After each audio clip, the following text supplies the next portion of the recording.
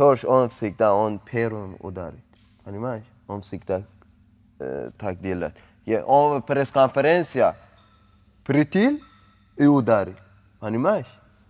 Поэтому я тоже ударил. Я вашу пресс-конференцию не видел, я там не был, но, Но посмотрим. ск- скоро ты посмотришь. Он ударил, я тоже ударил. Че, у него все нормально, у меня нельзя?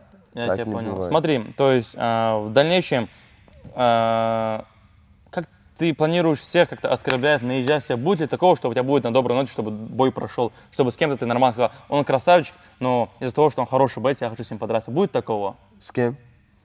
Ну, не знаю, в будущем мы можем такое а, поведение увидеть? Или ты всегда будешь агрессивным? Я агрессивный буду. То есть ты не хочешь быть, играть доброго человека, да?